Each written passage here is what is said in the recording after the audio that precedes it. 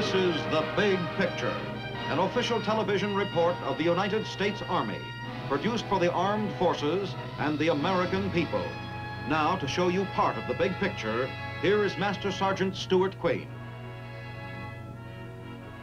By now, most of us have seen on television or in the newsreels the drama of the launching pad, when a long-range missile is fired into the air. An orange surge of flame, a thunderous bellow of sound.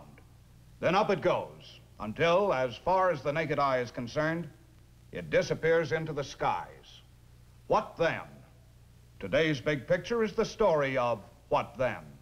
The story of how long-range missiles streak through the air to strike unerringly even a small target a long distance away. Our story begins a few miles from the White Sands Proving Ground in New Mexico.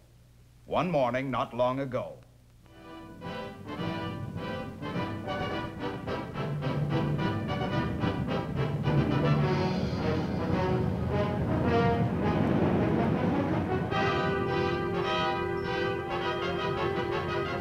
I was almost there, and well ahead of time, too. The arrangement was for me to meet my son at the service club at 5 p.m., the service club at the White Sands Proving Ground. It was still early. I could take it easy from here on, enjoy the scenery. I had really been beating out the miles in the last two days.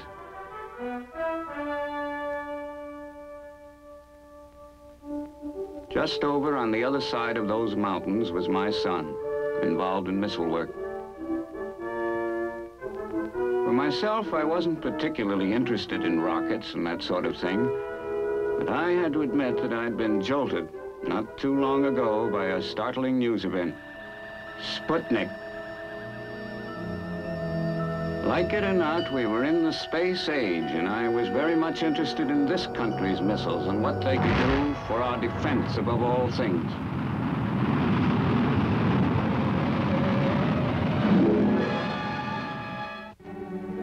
My son Ken was certainly in the forefront of the day's events. The White Sands Proving Ground was a key center of missile activity.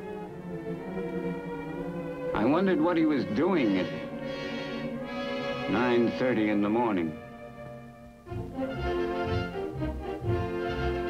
Well, no delays so far on this test. I guess I'll be crossing my fingers all day long again.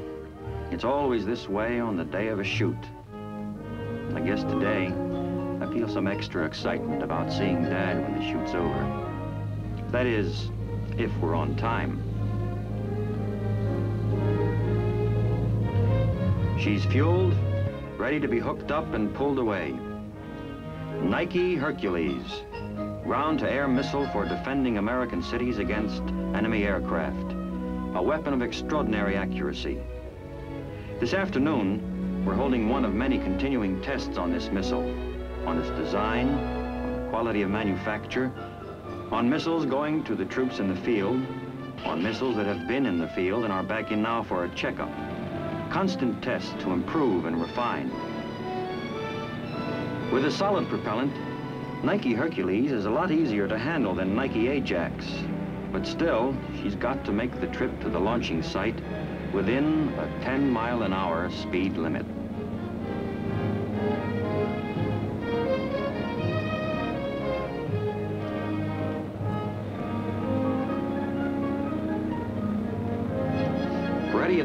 Site was the booster, the four rockets that give the missile its initial powerful thrust.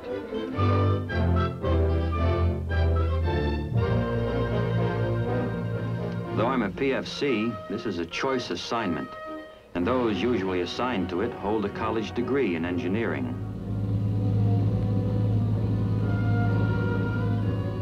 My job requires close watch over certain phases of the test. If, for example, the missile didn't arrive on time, or if something occurred to interrupt the joining of the missile to its booster, I'd be on the phone to my boss who was in charge of the test.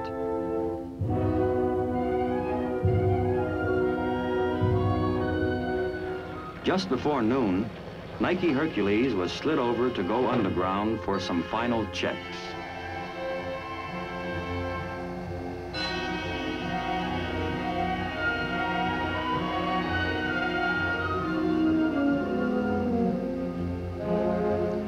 Missile descended, I thought of all that goes on in the background of any one firing test. Countless other tests and studies of the most exacting sort. Thinking back over what I'd seen during these past months, I felt rather fortunate in having been part of the intensive engineering and scientific activity at White Sands Proving Ground.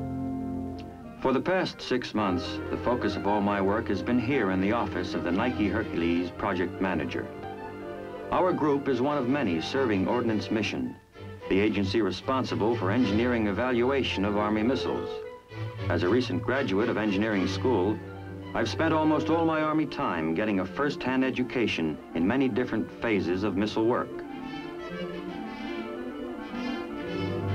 No one who's just gotten out of engineering school likes to specialize too early, so this has been a wonderful chance to gain broad experience in a field that's growing all the time.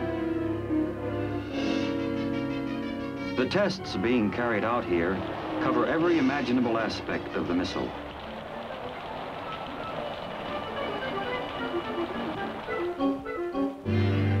Army wants to know how well the missile's delicate mechanisms will stand up to all sorts of conditions in and sometimes out of this world.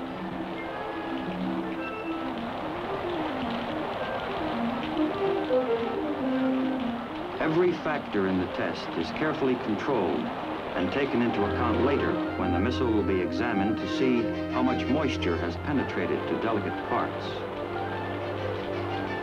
Right now, another test.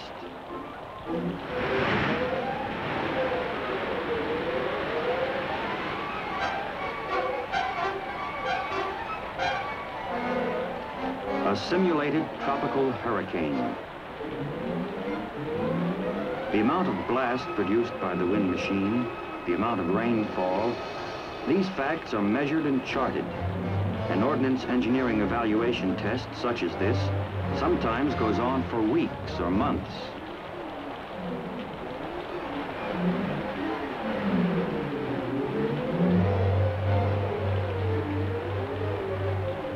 Whether the test be to discover the effects of temperature, high altitude pressures, humidity, or other environments, ordnance engineers share a common objective. Can the missile take it? An enormously severe strain is put on the missile at the takeoff and at the moment of separation from its booster. Special equipment has been designed to simulate these shocks. The missile is raised in order to test the effect of a sudden sharp drop.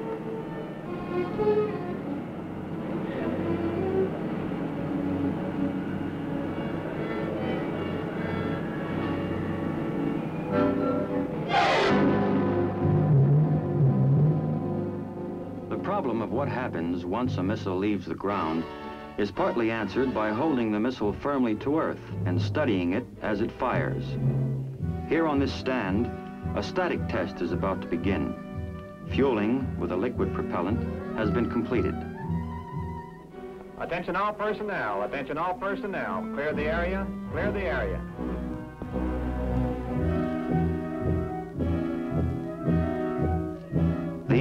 Last moments before flames belch from the motor, providing the missile with its tremendous thrust.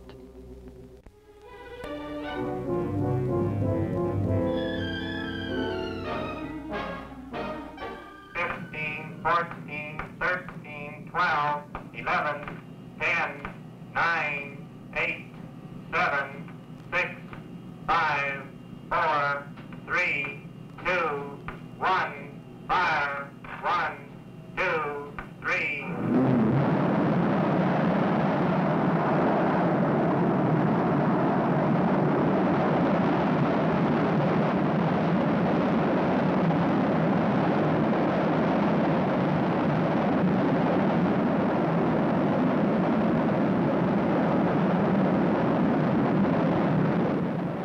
Each firing supplies a mass of information to the engineers at the instrument panels. Right here on these recorders is the reason for the test.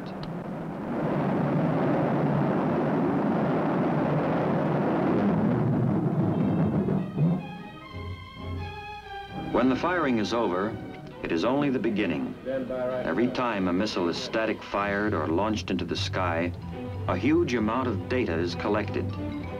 Most of this information is not usable until reduced to concrete units of measure, such as on these punched cards. The punched holes represent facts, which in their raw state may have come in on various recording machines. For example, as squiggly lines on pieces of film. As eerie sounds on reels of tape. As scope patterns. And erratic tracings on rolls of paper.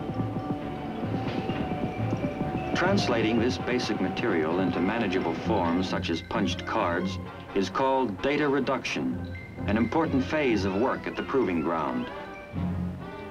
Only after this process can the punched cards be fed to mammoth scientific computers, which can be set to work to produce the statistical results awaited by missile scientists and engineers.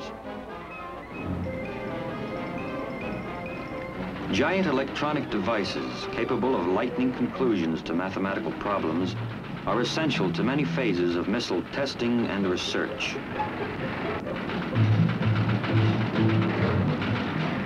A most extraordinary area, utilizing highly complicated electronic equipment, is the Flight Simulation Lab. Computers, carefully set for a particular missile problem, will provide the answers on a plotting board.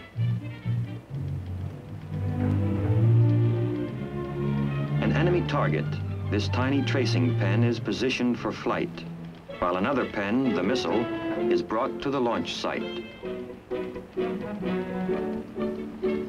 Simulated flight tests make possible a tremendous saving of costly missiles. Data is fed to the machines, such factors as motor thrust, wind velocity, gravity, temperature, and many others. No dramatic countdown here, no flurry of activity. Calmly, deliberately, the firing switch is thrown. But even here, there's a kind of tension, waiting to see if the estimations have been correct. The target is in the sky.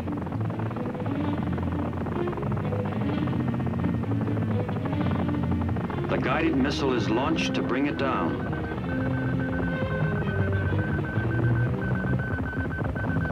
The target races through space.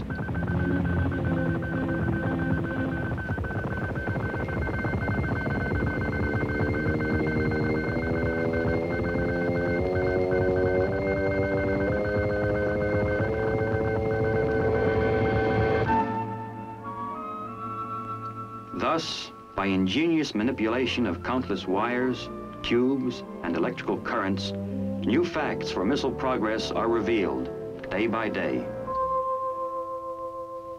But inevitably, the big showdown is the missile in the sky, being studied during its flight test, gathering data and sending it back through the telemetering equipment installed yesterday at the assembly area. Now all preliminaries were behind us. It was the afternoon of the shoot.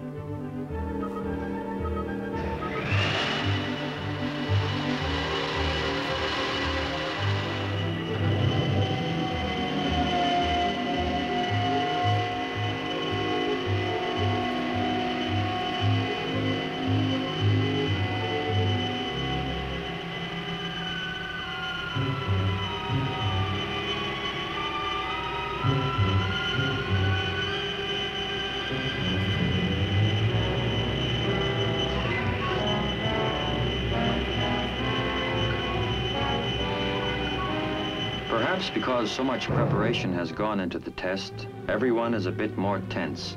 Even my chief, the project manager, who has been through it so many times. In the nearby battery control van, the man who will push the firing switch is ready to announce the countdown. Time is now X minus 20 minutes. Clear the area of all unauthorized personnel.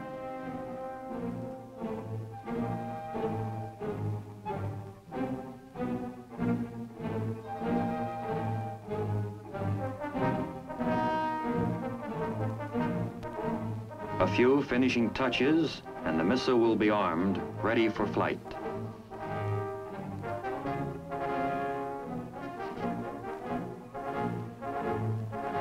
At my command, time will be X minus five minutes. Mark, X minus five minutes.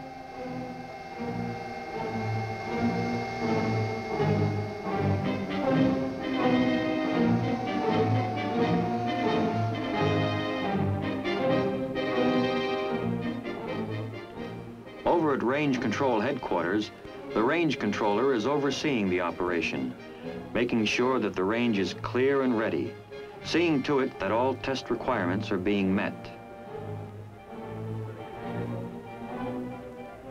This is range control. Come in, Nike Hercules Project Command. Go ahead, range control. The range is going green. We do not expect any hold at this time.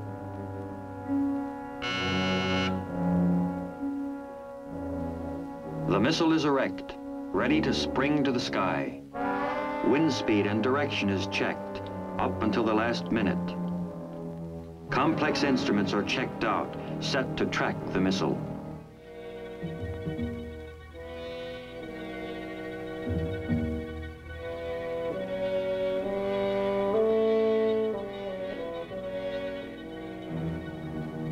Everybody waits as the tension mounts during the final moments of countdown. 29, 28, 27, 26, 25, 24, 23, 22, 21, 20, 19, 18, 17.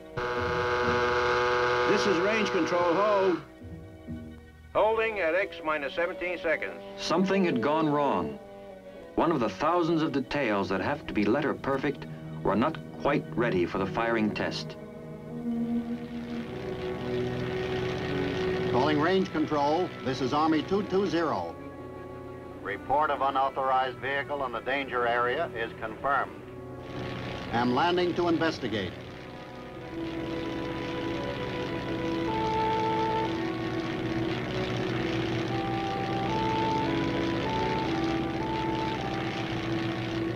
Nike Hercules, this is range control. Request you set time back to X minus seven minutes and hold. A vehicle must be cleared from the danger area.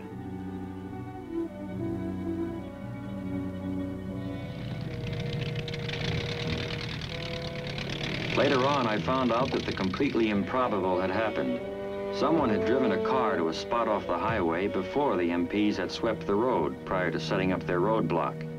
Seemed that some lady had been looking for a nice, quiet place to have a picnic lunch, or she'd been out looking for rock specimens or something. Well, one of the pilots assigned to sweeping the area as a double check found her and put her straight as to where she was and how it was important for her to leave the area immediately.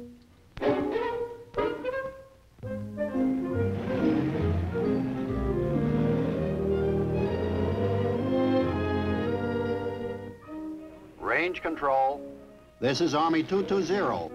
unauthorized vehicle leaving danger area. Range will be clear in approximately seven minutes.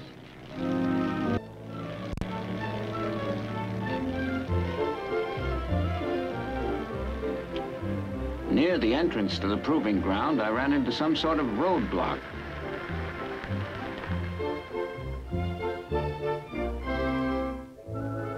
Evidently, they were just about to fire a missile. At the head of the roadblock, we were told we'd be able to see the shoot in just a few minutes. They were waiting for a vehicle to come off the range.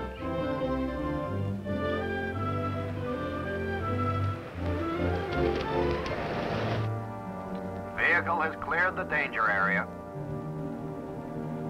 Nike Hercules, the range is going green.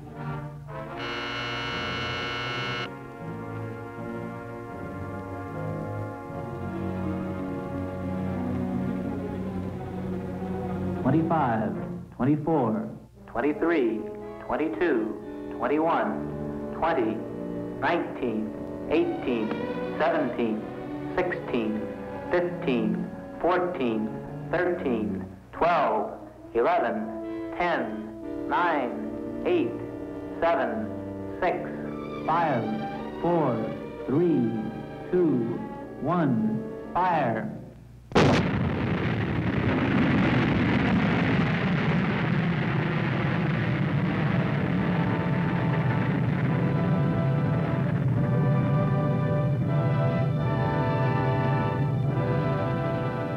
From the roadblock position, we were able to see the missile hurtle into the air.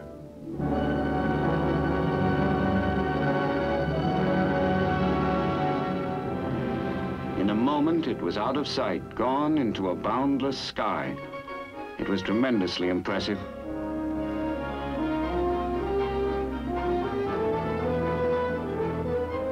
A few minutes later, I was on my way to the appointment with my son.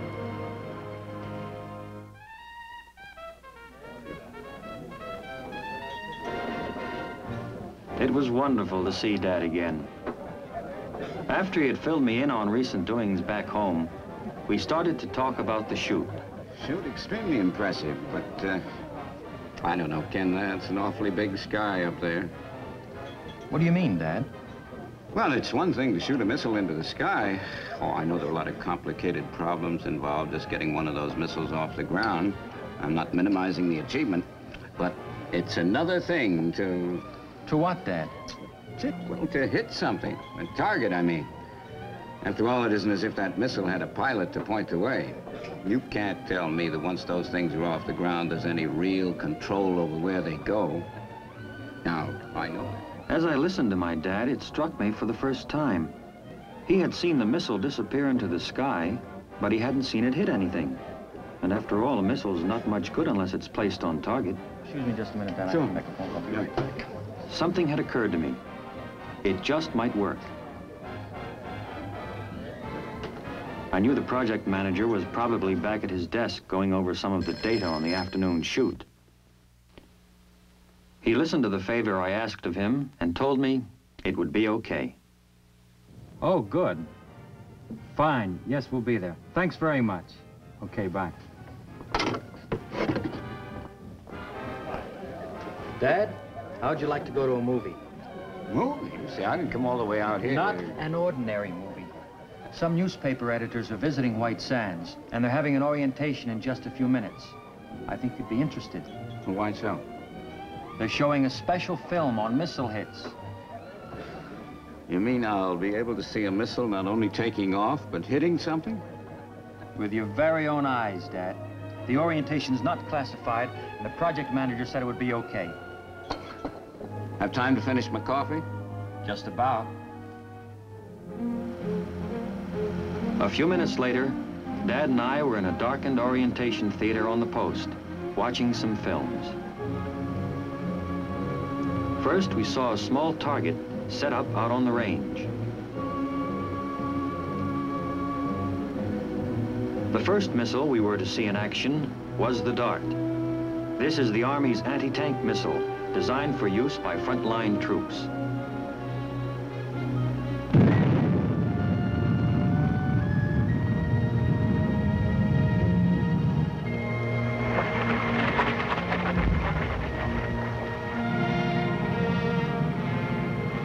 Now, a moving target for the Dart.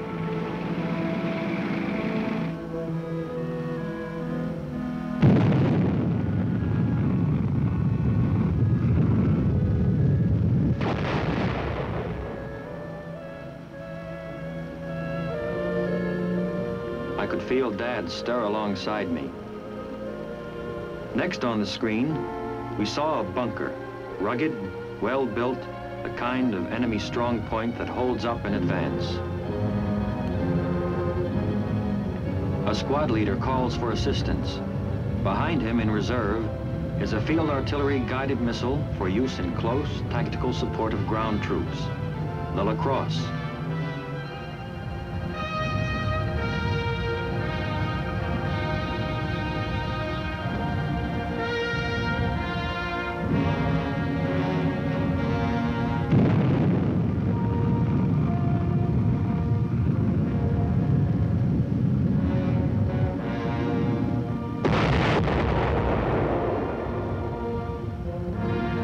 A squat target only 15 yards wide and out of sight of the launch position.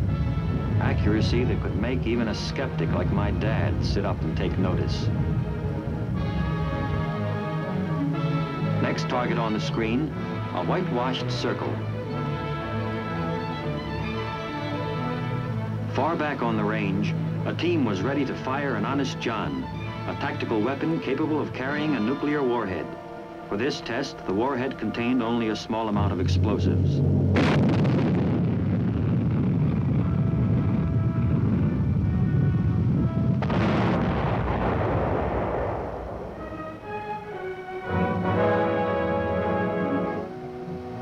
Another ground-to-air missile, the Hawk. Its target, a QF-80 jet plane.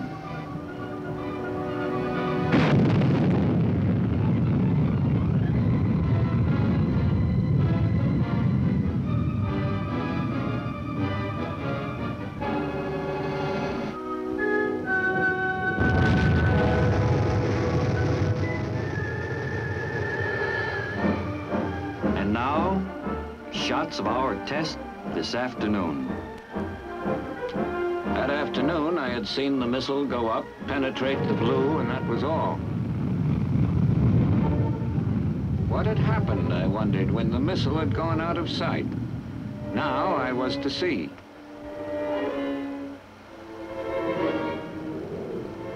High in the sky, a fast-moving plane.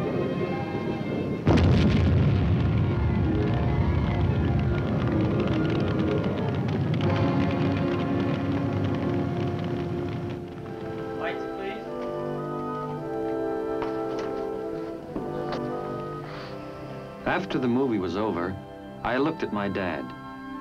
It was as though he had suddenly realized something.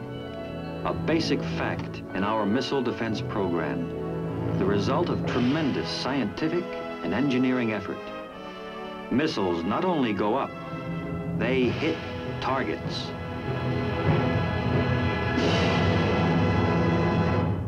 Daily at the White Sands Proving Ground and other areas, an elaborate all-out testing and development effort is being pushed ahead. Not only to put long-range missiles into the air and speed them vast distances, but, if need be, to place their awesome destructive power squarely on the target. Now, this is Sergeant Stuart Queen, your host for The Big Picture. The Big Picture is an official television report for the armed forces and the American people. Produced by the Army Pictorial Center. Presented by the United States Army in cooperation with this station.